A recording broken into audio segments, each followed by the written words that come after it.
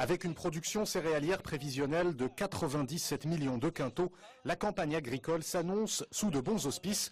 Une production record de 52 millions de quintaux de blé tendre est même attendue.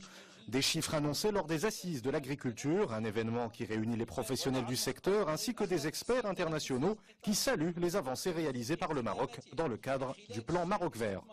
Je crois que le Maroc a, bien compris et que la sécurité alimentaire, le développement de l'agriculture, c'était une priorité majeure dans ce monde.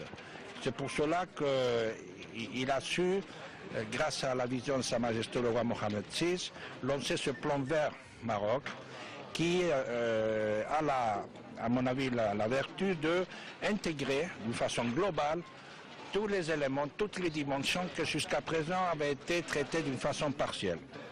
Agribusiness et sécurité alimentaire sont les thèmes majeurs de ces assises. Le modèle marocain de développement de l'agriculture et de valorisation du potentiel agricole était au cœur des débats. Le plan Maroc vert est un modèle dont devrait s'inspirer euh, beaucoup de pays. Et d'ailleurs, notre présence euh, au Salon international de l'agriculture aux, aux, assises de l'agriculture du Maroc euh, est le témoignage que nous voulons nous inspirer de ce modèle. Parce que nous pensons que depuis cinq ans, ce modèle a fait ses preuves.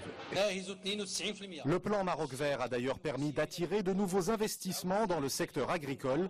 Ainsi, plus de 12 milliards de dirhams ont été mobilisés pour des projets d'agriculture solidaire, des projets qui permettent de remplacer des cultures existantes par d'autres cultures plus compétitives.